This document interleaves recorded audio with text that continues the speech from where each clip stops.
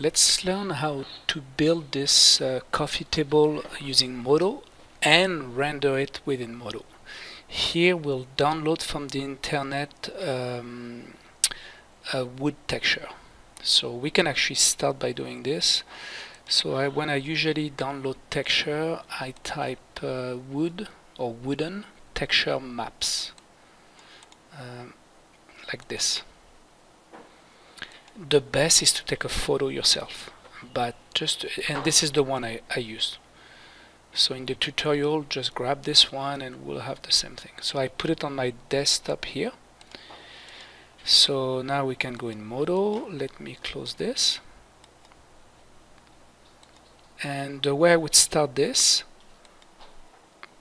um, it's actually uh, very simple. We can use cube. We can uh, draw it flat first, it doesn't really matter. So if I start with a cube, I can hold control. And then it's uh, if you hold control it'll be equal on each side.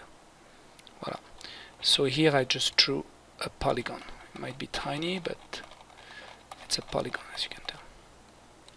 Oh sorry it's a cube. Uh, anyway let's uh, I don't want to confuse you so let me redo it I think for this exercise right click cube will be actually faster.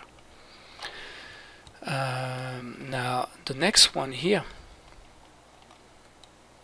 I can do n to create a new layer and I can use this one now. And I can just draw this like this just to show you a different way and go move it here and for the depth you can also enter the measurement here but for the depth we can just move it down like this. And I still think it's too thick. Voila. Q. Uh, it's actually my cube was way too thick. So I'll go R. Voila. Something like this because I scale it I want to go freeze scale. And uh, then we can do the other cube. So I can go here do a new layer n empty layer grab the cube tool.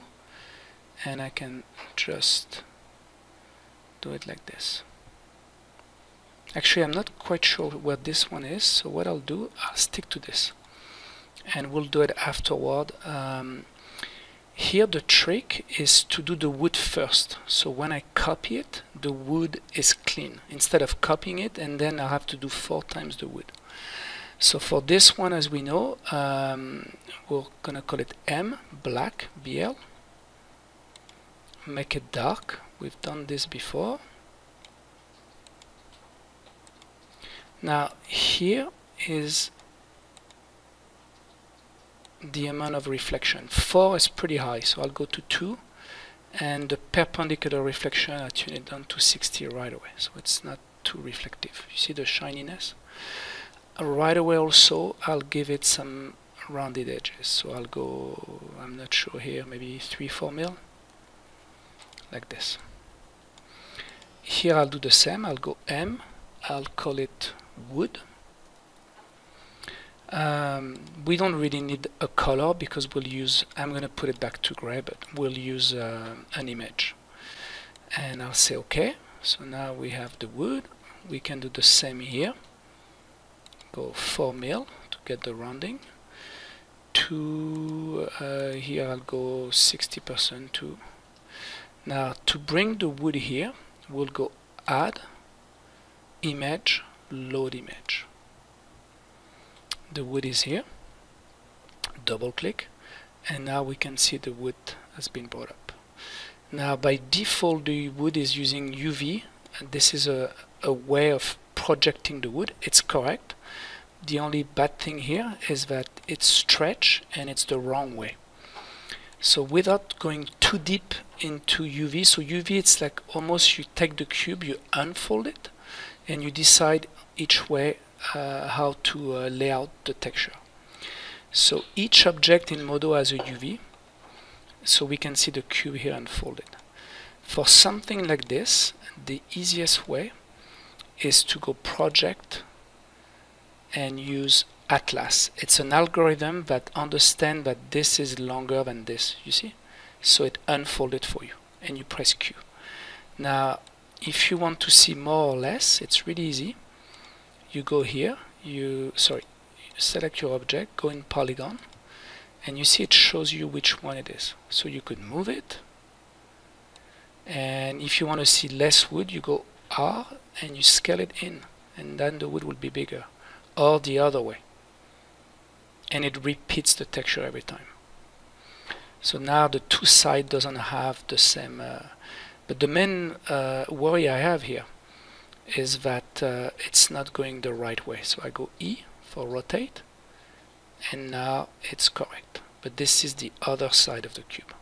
So I'll select this one, go E, and you see now I'm good. I'll uh, scale it a little bit. E again and move it back. Voila. We could also scale it only one way if we want more wood into it. But I think this is alright. Okay? And we could do the same with those one, but I don't think they are too bad those one. So now I go back to model and now I can duplicate this cube so it'll be right. Um, we could just duplicate and rotate or we can try something uh, called array radial. So I think we need three copy if I'm not mistaken. The center should be here, maybe four, sorry. And voila. This is actually the first time I do this, but for once it worked um, and here we can select this one or draw a new one and uh, just for speed I'll duplicate this one and put it here R here I'm really eyeball eyeballing it.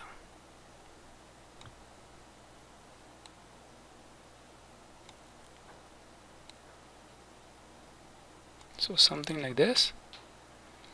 And we can do the exact same one uh, radial array. Click at the center.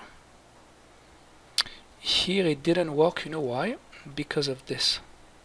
I think if you go freeze all it should give us a better result. Array radial center should be here voila.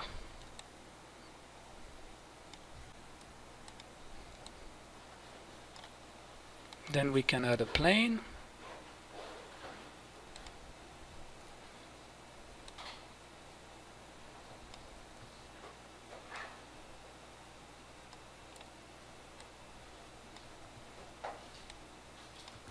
Okay uh, here is a little trick that we can do. We could actually merge those four cubes, or five sorry. So they are here. We can right click and merge them so they become one layer. And uh, we can go in edges. This is new. We can select the edge that we want. I'm holding shift huh? and we can do a chamfer. And to do a chamfer it's the bevel again but you don't put any um, subdivision. So you go B you click and drag you see? And you just don't put any uh, if you put some number here it'll be rounded. It's hard to see but you'll get many lines. But if you put zero you'll get a chamfer. So this is a bit too much. We'll go maybe 12 voila and that will bounce the light quite well. And as you know we can get this light right click change it change type to an area light. If you don't see the light you have to go here show light. Here I can actually see it. Remove the uh, edges mode. And then we can have a, a, light maybe from the side. E rotate it.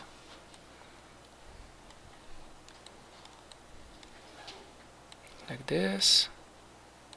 This this. Maybe a bit higher and further away. So let's try that. So F8 like that. You want this to match that? I think it is already. And um, if you want to see exactly the power of this uh, of this light you can just turn it off Look. you can see exactly what it does. And sometimes to get better highlight better lighting uh, I would replace the environment gray. So this one with um, a more powerful images. So I would go F6 we call that an environment lighting and I would go maybe indoor and uh, I don't know maybe one of those. Double click and now it brings it here. And you'll get a stronger reflection. So this one might not be the right one. You see the wood already looks better actually. Um, let me try this one. This is really useful when you use glass or metal. Here it'll help but it won't do a massive difference. Um, and usually I tune it down so I go here and I'll go point uh, six five or seven. So we we get the indirect but not as much. See that's actually better here. Um, the noise will be gone when we do rendering the final render.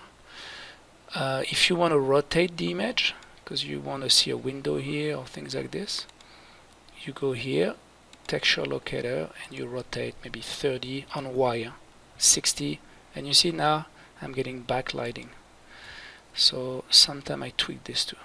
So actually zero was pretty good here.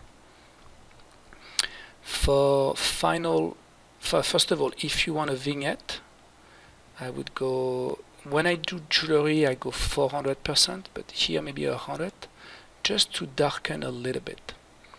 So vignette is here. I'll go 100 or 150 look now it's a bit darker here uh, I would remove a little bit of the saturation. So the tone mapping is uh, where's the tone mapping? Here. 20 10 or 20 here. And if there was something shiny I would use bloom but there's not really anything shiny here. We can still try it. And then finally I would um, if I'm doing a final final render I would go under render settings put 0.2 that's to remove noise the reflection will be here. Will be 256 so we'll put more samples. If you were to use glass you would do the same here. Uh, actually I'll make the center cube. It might be ugly glass to show you. And the sample for the shadow same thing 256 so now it'll take longer but it'll look better. So you can also texture just polygons. So you can double click go M and get this one called glass. So now this one will have its own. Uh, and to make it glass we know how to do this. We go here here sorry. Make it 95 we make the refraction 1.4 we make the we can give it a hair of a yellow or blue and we can play with the absorption maybe 120 mil. See what it does. Something like this. Still think it's a bit dark so I'll go back to my light. And I can push it a little bit. So maybe 3.5 that's the intensity of the light. So it's a bit brighter and maybe the environment too. So I'm going fast but we'll do this again and again uh, not this one this one. Maybe we'll go 0.75 or even 0.8 voila. So I'm pretty much done. Q, remove this. Uh, if you want to save it, you go File, Save As, and give it a name. Uh, I was using my Dropbox, so I think it was called Modo Shelf, Modo Coffee Table. But now, because we have a wooden texture, Modo Coffee Table, we need to save the texture. And to do this, you save the scene and then you go file consolidate scene and this will bring the wood within the scene it would create uh, imported material so now we can go render F9 and then I'll show you Photoshop so that's gonna take a while so here it is completed. The noise here that you see, I think it's due to the HDR, must be an old one, and also the I use 256 for reflection. I think 512 or more. Uh, Sometimes I go 1,000, 2,000. I've been up to 8,000. with that um, help? But uh, it's not too bad. So just to show you the bloom, I don't think here it'll do much uh, the way it works, it's for glowing. You go down. So if I go to 50, uh, actually we don't see much because there's no high contrast here. So this is not a great example. You see here the bloom, the glow, but this is not the type of image I think where you would use bloom. It'll help here. Let's turn it off. So the only thing I used was vignette to darken the edges and tone map to reduce a bit the saturation. When you go save, if you save as a PNG, you get the background on a layer and the shadow on a layer. In my case, I'll just use a JPEG and I'll call it uh, coffee table. I think I'm at 6 now. Doesn't really matter. 4 4. Voila, so now it's saved. Uh, I'll just save again just think no it's good. And usually after render I would go in Photoshop. And here I'm going to show some trick. Uh, those tricks are valid for renders but they are also valid for photo. You could uh, this is some old family photo. You could actually use this even on old photo like this. Um, so if you talk to someone who knows color and Photoshop well I'm cutting a lot of corner here. So people might make fun of my technique because most people will use a, a, separate layer to control the levels. The curve the curves is a very good one. But here I'm just going to show you some automatic tricks that can help you a lot for color correcting. I don't use all of them at once rarely but I'll show you all of them. And you know you still have to look with your eyes. So those three are excellent sometimes I only use two, sometimes I use the three. Uh, I don't use layer, so what I'll do, I'll fade with this one. So usually the first thing I'll do, I'll go Control L to do a level, and I won't work with RGB. I'll work red, uh, G, uh, red, green, and blue. So here we have a little bit of data, so it's more where you have no information. So we're going to clip it to there and this on photos even if you have an expensive DSLR it would make a big difference. Okay? Uh, this one is the um, the contrast. I don't really touch this one. So here it's a bit too strong so I'll go back and I'll fade level the other way. You see? So none a little bit. Here we just need like 10 15 just a little bit Next one, Autotone. It's a great little algorithm, especially for underwater to get back all of the tone. And here it really depends on the image. I go between 10 and 30. Autocolor, if it helps, here it helps a lot, but it's way too strong. Uh, you see none with. But it does bring some of that warmth and you could do all of this on mask and you know use a brush to put the yellow only here and not there. Um, what else do I use? Uh, often uh, CG images they have too much saturation. So I'll go vibrance and I'll remove you know minus 4 minus 5 if I do this I'll put the same amount but in positive on vibrance.